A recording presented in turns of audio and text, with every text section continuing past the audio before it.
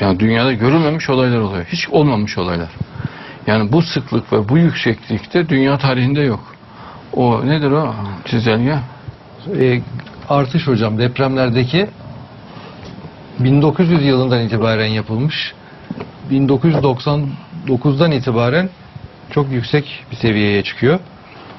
Hatta 5 şiddetinden büyük depremler 1556'dan yani yaklaşık 400 yıldan beri toplam 110 adet deprem olmuş. Sadece 1999 yılında 20.832 deprem meydana gelmiş. İrili ufaklı büyüklü. Bir daha söyle bu son söylediğini. 1999'da 20.832 deprem meydana gelmiş. Geçmiş yüzyılda 400 yılda 110 deprem ve karşı. Ha.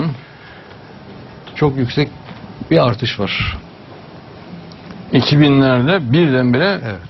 Muazzam bir artış oluyor. E peki Peygamberimizin dediğine bu aynen mutabık mı? Okuyayım mı hadis Evet, oku. inşallah? Ümmetimde zelzeleler olur. Öyle ki bu zelzelelerde 10 bin, 20 bin, 30 bin kişi ölür. İlim kalkmadıkça, depremler çoğalmadıkça, zaman kısalmadıkça, fitneler zahir olmadıkça, cinayetler çoğalmadıkça kıyamet kopmaz. Depremler çoğalmadıkça. Evet. çoğalır. Aynı zamanda Mehdi'nin de çıkış alameti. Mehdi'nin çıkış alameti olduğunu Peygamberimiz hadislerde çok detaylı izah ediyor, anlatıyor.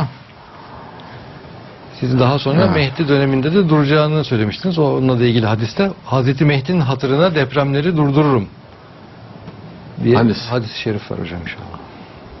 Yani Cenab-ı Allah'ın hitabı olarak belirtiyor değil mi? İnşallah? Evet, inşallah. Evet, inşallah.